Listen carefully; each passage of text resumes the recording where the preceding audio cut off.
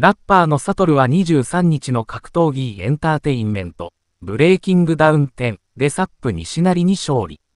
過去大会のドタキャンで批判を浴びたが、見事に名誉挽回に成功した。写真、バッチバチの殴り合い、サトルの連打で顔が腫れたサップ西成の姿序盤からアグレッシブに仕掛け続け、延長の末に勝利を手にしたサトル。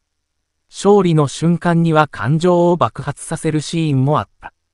試合後インタビューが大会公式 YouTube で公開されているが、今後のサトルに注目していただければ。俺はブラジルに行って人格者になって戻ってきたつもり、と振り返った。さらに対戦相手のサップには、一緒にお好み焼き食べたいな、とにやり。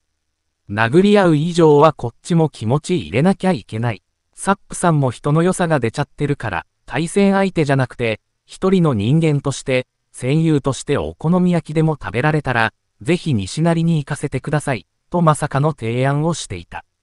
今後、戦いたい相手はいないな、とも口にしていたサトル。